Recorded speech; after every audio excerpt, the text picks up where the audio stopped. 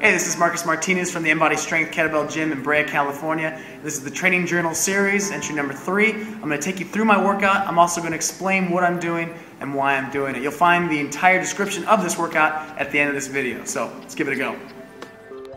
All right, so the first exercise is an inverted rope pull-up. Now I like these because this is really good for the grip strength, core strength, and just overall pulling strength. And it gives you a little bit of variety so it's not always about the pull-ups. So, and builds, builds some good traps.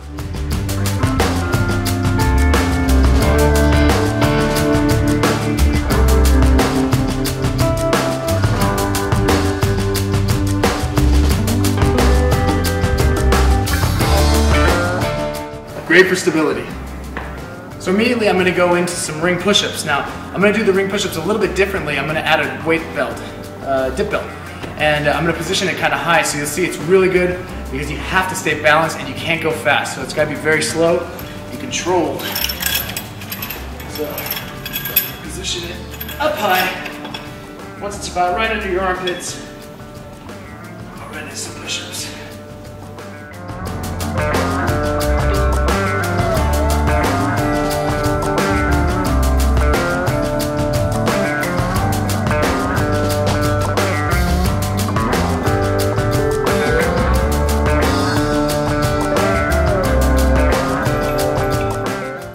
Do this three times, then we're gonna move on to the next set of exercises. Okay, so I got three sets into the last couple exercises. Now I'm gonna combine the seesaw press and the goblet squat. So I like the seesaw press, gives me a little bit more range of motion and incorporates the core a little bit more than just traditional pressing. So.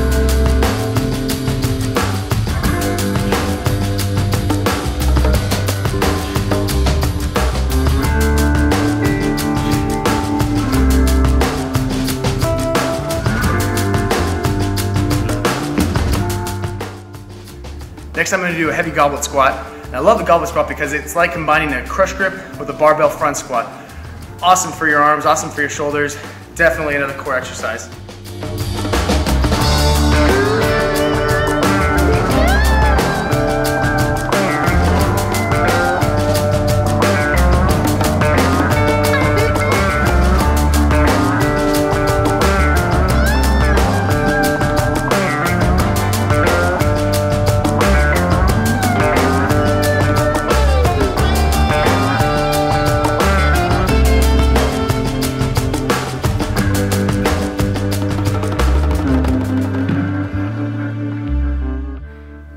So the last set of exercises is gonna be a weighted ab wheel and some deck squats and swings. Now with the ab wheel, I'm gonna use the MKB. I got a 16K kettlebell in there.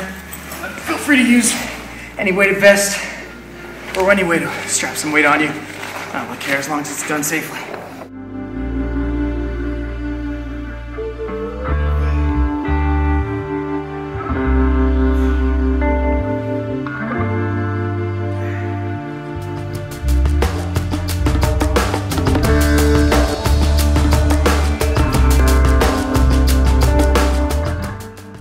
Have it, It's my workout today. You'll find at the end of this video the exact specs on what I did, the weights and everything.